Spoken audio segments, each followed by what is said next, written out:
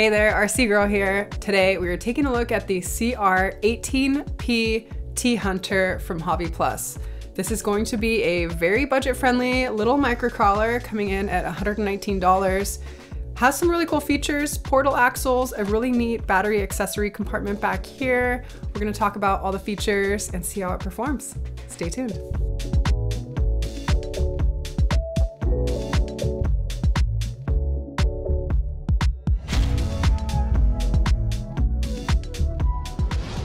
If you guys are new to my channel, welcome. Here you're gonna find RC reviews, tips and tricks, run videos, flight videos, and other things related to RC. If you don't wanna miss my future videos, make sure to like and subscribe. And I've been doing YouTube pretty much full time now, so very exciting. Huge thank you to my growing community of patrons on Patreon. Appreciate all your support. All right, let's dive on in.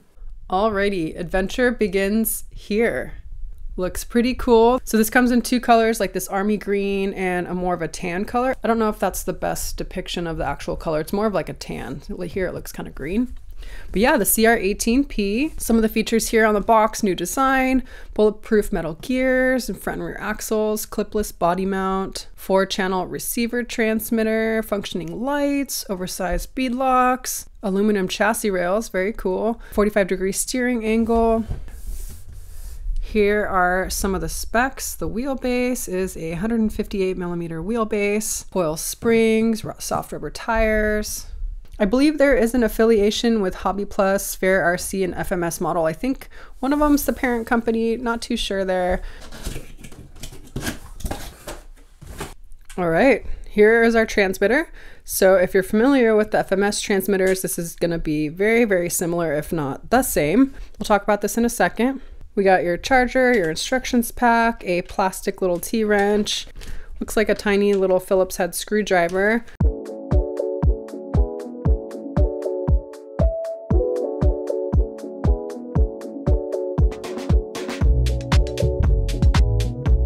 All right, so the CR18P T-Hunter.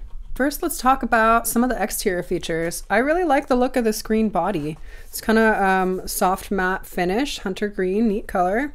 Um, and this body is actually not going to be a body that comes off easily. So they made it where everything, the battery and the on and off switch and everything is really accessible from the exterior. So unless you need to work on something or upgrade some of the electronics or something like that, you're not really going to need to get under inside the internals. So there's, um, well, I'm sure there's a way to take off the body, but it's not designed to really be coming on and off that frequently. We got a plastic molded front bumper up here, kind of these neat little uh, light protector cover things. Got this little protector here for the grill that's integrated into the bumper. We do have integrated LEDs for the front and the rear that are controlled by the transmitter. For this budget-friendly RC, kind of cool that they include that. For the rear, you're also going to get a plastic molded rear cage. Neat that they include little accessories here like these jerry cans, one on each side, and these faux little tool compartments on the sides. So this is a functional spare tire. You can see here the rear LEDs. We'll turn that on. You can see what they look like, but they're red LEDs on the rears. We have some window decals here, some plastic molded side mirrors, they even have a mirror finish. That's kind of cool. Plastic door handles here. So to access the battery, you just open this little compartment here. The top pops off and it hides your LiPo battery. Kind of neat. A lot of times there's little compartments like that on trucks, but they're not usually functional. So cool that they actually made it functional. And here is your LiPo battery, 7.4 two cell 600 milliamp LiPo. It's going to be charged with the little USB charger included. Here is the battery connector. A lot of the FMS rigs also use this connector type. Don't quite know the name of that. It is a tight squeeze in there, getting all the cables and then the hatch back on. You have to fit these two notches in the back and then it kind of smashes down. So ah, I was able to do that one-handed. Here is your on and off switch little rubber protected. I'm wondering if that's waterproof. Here are our wheels and tires. These are a 1.2 millimeter rim. Kind of cool that they have these little plastic hubcaps on them. Neat detail there. You got a little tiny nut on there. And these are actually a true bead lock. So these are not glued on. We're actually look inside. It feels like there's foam in there, maybe. We're gonna check. There's some screws on the back and you can take the tires off and easily swap them out. So that's kind of cool. Now let's look inside our plastic bead lock. So looks like there's five Phillips head screws holding this on.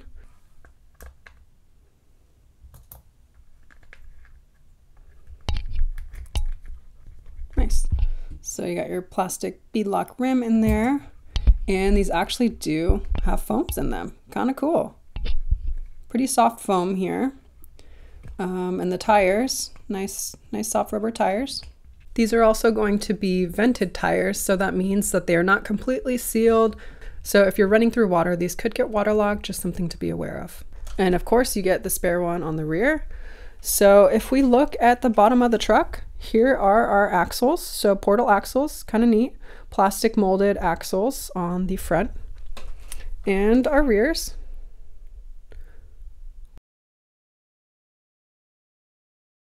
All right, there we go.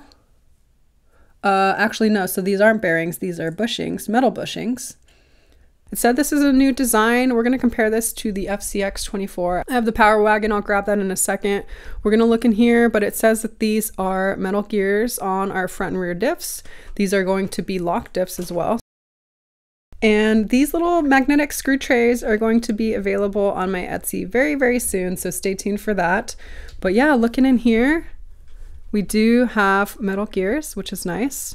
It looks like also metal bearings, kind of cool to see and there's some grease in there. You might want to add a little bit more. So if you turn the wheels, all four wheels turn. So lock diffs. This seems to be geared pretty low. So you're going to be nice and slow for you on the little crawler. Everything here though, plastic links, plastic front steering links. It also has a panhard, so right here. Neat that they included a panhard bar. Don't often see that on more of the budget builds. Somewhat flexible plastic front steering links here for our servo. This is a chassis mounted servo. Couldn't really find too much information about it, but hopefully it holds up nicely to this tiny truck. We have a plastic servo horn up there. Links here on the bottom, plastic drive shafts. Our suspension here, these tiny little shocks. Um, these are not going to be oil filled shocks. I don't think they include the little O-rings like FMS does to make these oil filled, but lots of people offer upgrades. Uh, you can kind of see the shaft here um, moving around. So these are not going to be very high end tiny truck shocks. So might want to look into upgrading those over time.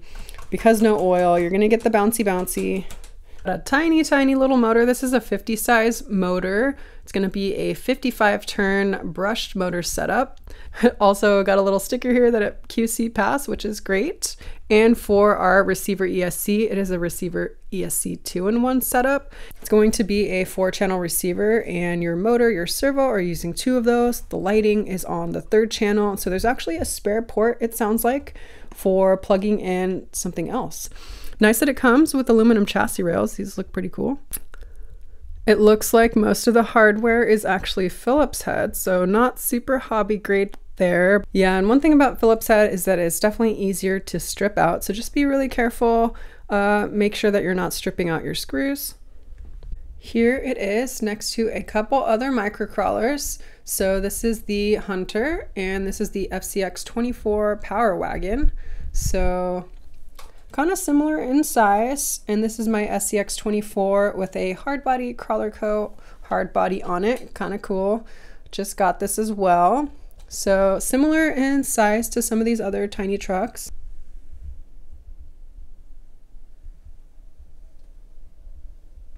T-Hunter is probably the most similar to the FCX24, but the axles are actually different. So you can compare them here.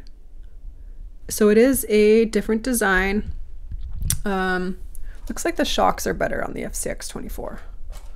So let's take a look at the transmitter. There's some basic functions on here. Your throttle dual rate and your throttle trim. So you can actually turn down the throttle rate, your steering dual rate and your steering trim. So you can turn, it looks like our steering is all the way up. You can turn that down if you want. You're gonna have like not that much steering. We're gonna have that all the way up. Says 45 degree angle steering, which let's see that. Nice, pretty good steering angle there. You're gonna be able to reverse your steering and your throttle channels. We're just gonna keep those the same. I don't know if these do anything. We'll have to take a look at the instructions manual. These transmitters tend to be a little bit complicated with some of the functioning. There's a lot of different trucks that these link to. So I think um, we'll have to look at the manual and I'll put an overlay on the screen if this does anything. But yeah, pretty nice. You could do one-handed driving with it.